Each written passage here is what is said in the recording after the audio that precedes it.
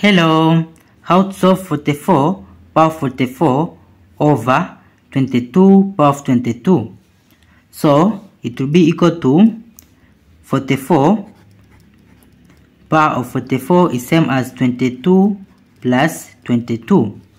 Then over this denominator 22 power of 22. Then in next step it will be equal to 44 power of 22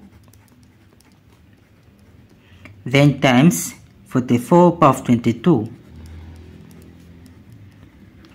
then over this denominator 22 power of 22 then it will be equal to we divide this divide by this so it will be 44 power of 22 over 22 power of 22 then times this exponent 44 power of 22 then in next step from here this division of exponent is in the form of a power of m over b power of m which is equal to a over b bracket power of m.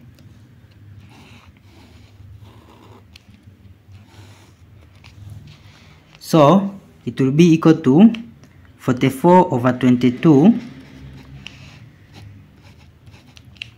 then bracket power of 22 then times this exponent 44 power of 22 then in next step it will be equal to 44 divided by 22 is 2 power of this 22 then times this exponent 44 power of 22 then in this multiplication of exponent is in the form of a power of n times b power of n is equal to a times b bracket power of n.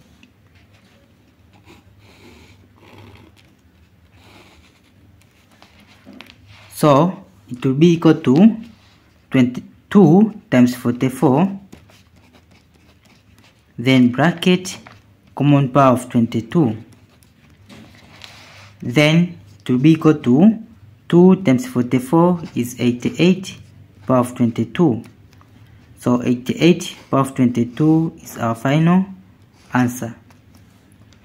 Thank you for watching. See you in the next video. Bye bye